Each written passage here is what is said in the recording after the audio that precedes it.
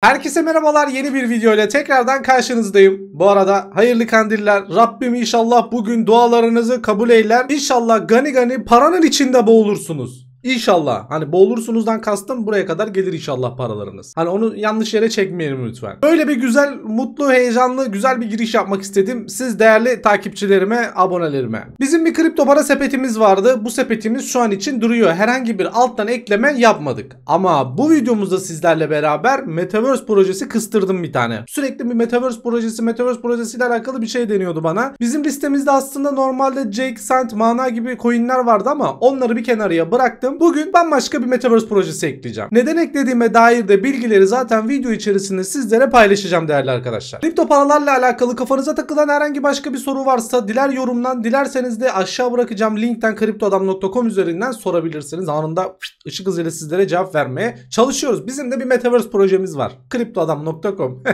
Bugün inceleyeceğimiz coin Senso coin değerli arkadaşlar. Yani sensor, sensorium, sensorium Öyle söyleniyor. Ya şimdi benim dilim dönmeyebilir böyle şeylere. Siz aldırış etmeyin çok. Yorumla da beni düzeltmeye kalkmayın. Sensoruyum. Sensor, sensoruyum. Bunu bu şekilde düşünebilirsiniz. Ama bu bir Metaverse projesi. Şimdi şöyle bir gireceğiz içeriye tamam mı? İçeriye şöyle bir girdiğimizde aslında web sitesi üzerinden devam edelim. Web sitesinin içerisinde şöyle bir baktığımda böyle geziyordum tamam mı? Hani bir Metaverse projesi ekleme mevzuları vardı zaten. Mesela aşağı taraflara indim. Şurada Demiş ki David Guetta'nın bir sensörümle alakalı bir paylaşımından bahsetmiş ve birkaç tane sanatçının bu coin'le alakalı paylaşımlarından bahsetmişler. Ya ilk başta dedim ki ben buna. La hadi la oradan dedim. Kesin dedim milli bizi trollüyorlar ya da başka bir durum var.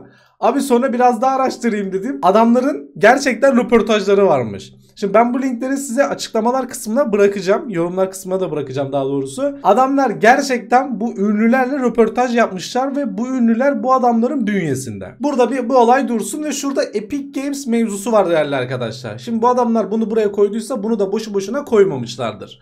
Ben genellikle Metaverse projelerinde bir şeylere bakarlarken daha doğrusu Metaverse projelerinin içerisinde bir olay ararken neye bakıyordum değerli arkadaşlar? Arkasında büyük bir şirketin daha öncesinde bu tip platformları yapmış, oyun platformlarını yapmış ve sanal evrenle alakalı düzgün bir iş yapmış şirket arardım. İşte bunlardan bir tanesi Facebook, Microsoft ve Steam gibi oyun platformları da olabilir. Epic Games de bir oyun platformu. Steam gibi düşünün. Ve bu adamlar Epic Games'te anlaşma yapmışlar. Benim haneme artı bir puanı yazdı. Artı bir puanı yazınca ben dedim buna ekleme yapacağım. Yani bunu dedim sepetimizin içerisine eklemek istiyorum. Diğer mesela X bir tane Metaverse projesinin ben Twitter hesabına bakmak istediğimde girerim tamam mı? Adamlar ne yapıyor ne ediyor gibisinden böyle olaylara bir bakarım.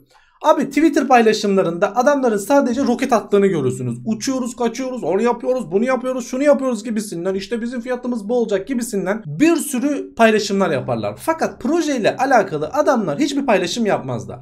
Şimdi mesela Senso'nun girdim mesela Senso Galaxy içerisine girdiğimde de adamların odak noktası sadece Metaverse projeleri. Yani diyor ki bizim Metaverse projemizin içerisinde bu olacak. Bunun çalışmasını yapıyoruz. Bunlarla anlaşıyoruz. Şöyle bir baktım dedim ki bunu nereden satın alabilirim? Şimdi KuCoin'e GT arasında geldim gittim. Sonra aklıma Telegram grubumuzda bunlar bir paylaşım yapmıştım ya sizde. Airdrop veriyordu. Adamlar dedim ki bize çıkardı helalinden 10 dolar para verdi. Aranızda alanlar var bunu. Şimdi yalan yok.